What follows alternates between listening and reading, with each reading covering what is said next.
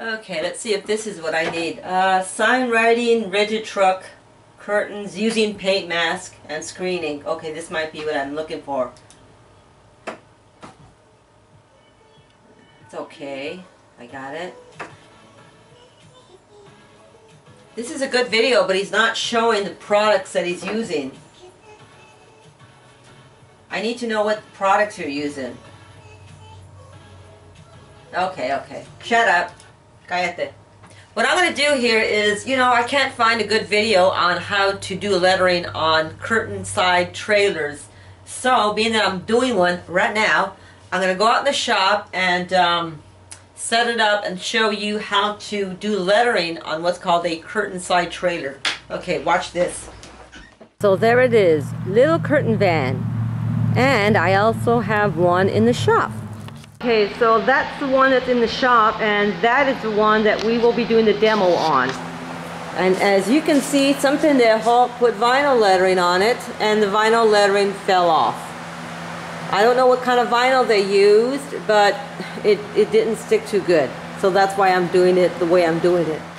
So what we're doing basically, it's paint mask and this stuff here, it's a uh, gloss vinyl ink I'm going to show you the can. Ink, Inktek. Inktek Gloss Vinyl Ink. And you can reduce it with lacquer thinner, which is really good. And you can also clean out your paintbrush if you use a paintbrush with lacquer thinner. See the can? I bought this in New York because here in the Northwest, you can only buy it by the gallon. And I don't need a whole gallon, so there's a place in New York, they sell it by the quart comes in different colors. And the way I'm going to apply it after the paint mask is put on is with the little rollers. I'm going to put the, um. Come on. Come on, come on, come on. I'm going to put the ink in here and roll it on. This way you have nice even coverage without uh, brush strokes coming through. So let's get on it and get it done. Okay, what I had done is I took the trucks out in the yard and I washed them really good because you gotta have it squeaky clean. And now I'm gonna go over the whole thing with uh, Rapid Tac Rapid Prep and wipe it down and get started on it. And being that I love to listen to music while I'm working, um, I'm just gonna like run this real fast and uh, listen to the radio like I always do, but play some music. All right, here goes.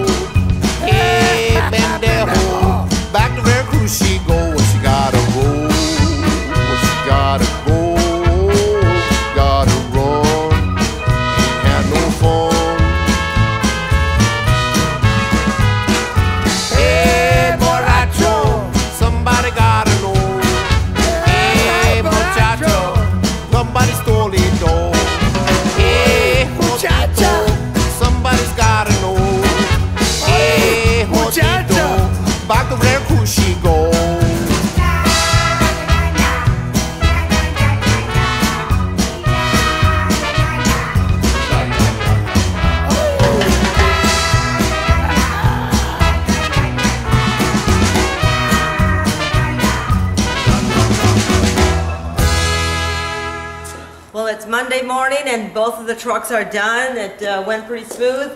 On the second truck, being that the little plastic uh, paint holders started to melt, what I did is I took a Frisbee and first I just put some uh, vinyl on the bottom, but the ink started like melting the vinyl. I don't know why, it was really weird.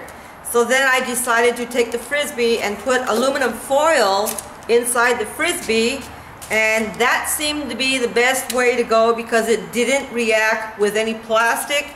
It seemed to dry not as quickly and um, it, it rolled out really nice. So that was the best way. The Frisbee wrapped with uh, aluminum foil, two pieces of aluminum foil.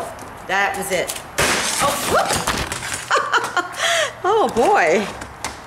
Be still, camera.